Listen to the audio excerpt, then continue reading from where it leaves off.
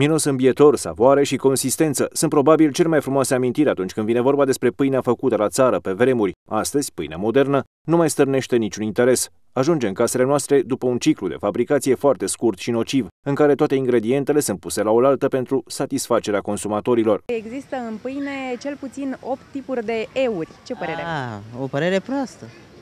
Că așa e. Dar ce să mâncăm? Că dacă asta e pe piață, noi luăm ce e mai bun, zicem. Că luăm pâinea cea mai bună.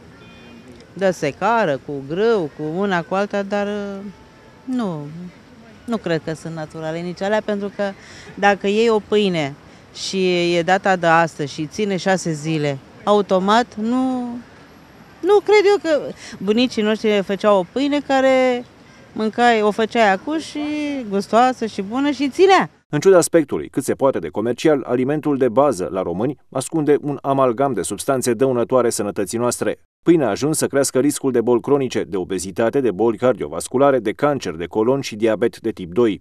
Mai mult, grâul modern este un grâu cu potențial alergen mult mai ridicat și poate induce intoleranță. Făina albă rafinată, fără fibre și fără ceea ce înseamnă germenii de grâu, uh, la uh, moară sau când se uh, macină, aceste două ingrediente se îndepărtează. Rămâne făina albă care ea se asimilează în, foarte rapid în, în organism, se introduc afânători Uh, așa uh, și așa numiți eu, euri uh, în ceea ce înseamnă procesul de producție, ei afectează sănătatea noastră atât în ceea ce înseamnă uh, tranzitul intestinal, constipație, uh, ceea ce înseamnă uh, digestia noastră. Totodată, specialiștii ne sfătuiesc să ne uităm cu mare atenție la eticheta pâinii și să le evităm pe cele care conțin euri, în special cele chimicale.